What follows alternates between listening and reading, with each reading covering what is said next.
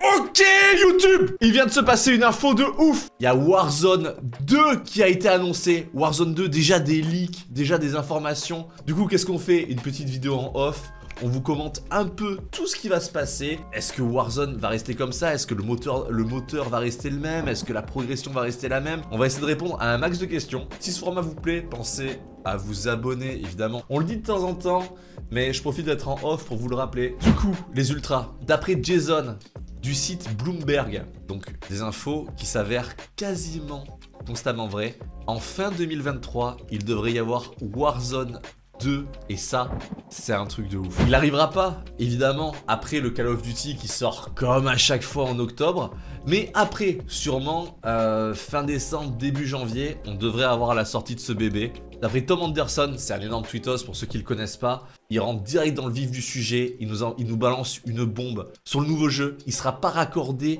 au Warzone actuel. Il va y avoir de nouvelles armes, de nouveaux personnages, peut-être un nouveau moteur. La mécanique de Warzone actuellement, moi je l'adore. J'espère pas que ça, ça va changer. Par contre, des nouveaux personnages, des nouvelles armes, des exécutions que t'achètes 20 balles qui fonctionnent, eh, pourquoi pas? Microsoft Est-ce que vous allez faire un truc de ouf? Du coup, vous l'avez bien compris, les ultras, toute la progression que vous avez fait sur Warzone ne sera pas éligible sur le prochain. C'est-à-dire que votre KD, il va disparaître, vos dizaines de milliers de kills Peut-être que je parle pour moi là, mais ça va disparaître. Vos heures de jeu, ça va disparaître.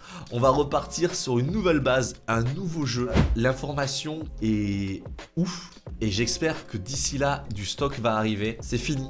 Les PS4, les Xbox One. Si vous voulez jouer, ce sera uniquement sur PC, PlayStation 5 et la Big Xbox Series S. Place à la nouvelle génération. Du coup, euh, pour ceux qui euh, débarquent un peu, le moteur de jeu, qu'est-ce que c'est? C'est la mécanique, les mouvements, la fluidité, le fait de faire, euh, de faire un crouch, de l'arrêter. Ça, c'est une mécanique qui est bien spécifique à notre Warzone actuellement. Mais avec le rachat de, Microsoft, de, de, tout ça, d'Activision Blizzard et tout, est-ce qu'ils vont pas prendre leur moteur à eux? Est-ce qu'ils vont pas changer le moteur ou même l'upgrade? Dans tous les cas, je pense qu'on ira vers du positif, je l'espère en tout cas, mais je tiens à garder nos mouvements. Tout peut changer, mais qu'on garde les mouvements de Warzone par pitié Je vais vous faire un petit point de moi ce que je pense de cette annonce. Je pense que c'est une super nouvelle, qu'on peut que aller de l'avant parce que je vois beaucoup de bring back Verdansk et tout, mais il faut se rappeler, avant qu'on quitte Verdansk, comment est-ce que c'était? C'était rempli de cheaters, les lobbies se lançaient pas tellement il y avait, il y avait peu de monde.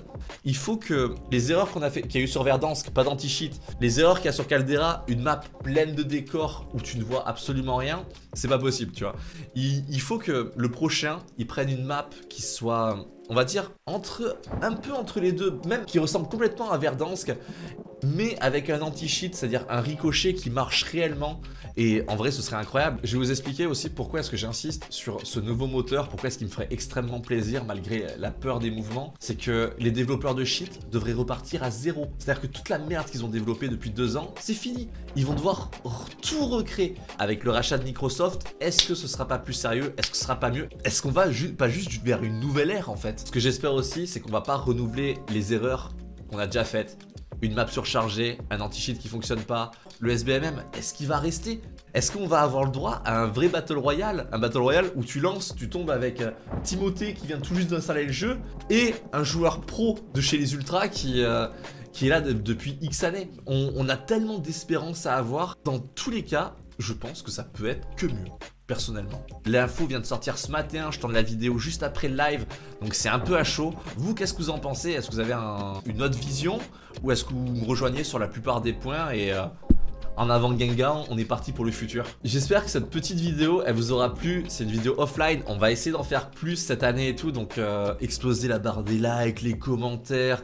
Tu casses tout Je vous tiendrai au courant de Warzone 2, de toutes les actualités sur Warzone 2 qui va sortir en 2023.